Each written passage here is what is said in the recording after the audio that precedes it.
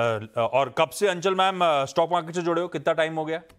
Around eight nine years तो हो ही गए हैं। और कैसी रही है जर्नी आठ नौ साल की?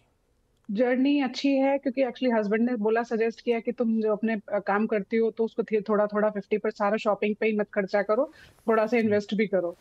तो दैट्स वाई तो इसलिए ये हुआ कि आ, मैंने कहा ठीक है। तो मैंने और मदर इन लॉ ने दोनों ने मिल करके स्टार्ट किया और उनके ज़्यादा पैसा उनका होता है और काम थोड़ा सा मैं करती हूँ देखती हूँ आपका ये सब मार्केट एंड ऑल तो अब फिर उसके बाद ट्रेडिंग करते इन्वेस्ट करते तो मिस कर रहे हो शॉपिंग को कि ये स्टॉक मार्केट अच्छा ही है? अच्छा आइडिया था हस्बैंड नहीं आज का देख के तो मुझे बहुत ही अच्छा लग रहा है कि ज़्यादा स्कोप हो सकता है। अभी सेल स्टार्ट होने वाली है बहुत सारी। अभी सेल स्टार्ट होने वाली? मतलब स्टॉक गिरने वाले हैं क्या? नहीं नहीं ऑनलाइन सेल्स हम लोग तो अच्छा ओहो ओके ओके ओके। हाँ। अंचल मैम अच्छा स्टॉक डिसाइड कौन कर रहा है? आप खुद ही डिसाइड करते हो अपने? Uh, नहीं हेल्प ले लेती हूँ जो मुझे अच्छे लगते हैं थोड़ा सा एंड हस्बैंड से भी एंड एक दो फ्रेंड्स हैं जो लोग हेल्प करते हैं। वोडाफोन आइडिया का आइडिया किसका था? हस्बैंड का था कि आपका था? हाँ हस्बैंड का था वो तो। तो फिर आपने भरपाई के लिए पैसे मांगे उनसे?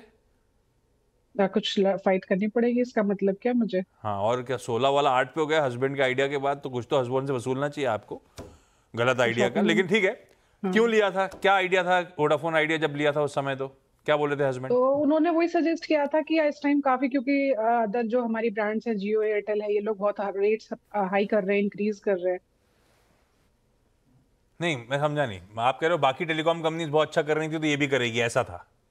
नहीं उनके लिए उनका नेगेटिव कुछ हो रहा था मार्केट बुलिश और समथिंग हो रहा था तो दैट्स व्हाई ही सेड कि वोडाफोन में भी अच्छा कवर अप करे इसमें तो इसमें हाँ। करना चाहिए इन्वेस्ट नहीं बात सही बात सही उस टाइम पे माहौल ऐसे ही बन गया था सही बात है। हम्म। ग्यारह रुपए पे एफपीओ पे बहुत बड़े बड़े इन्वेस्टर्स आए प्रमोटर्स ने पैसा डाला सबको लगा सब बदल जाएगी तस्वीर।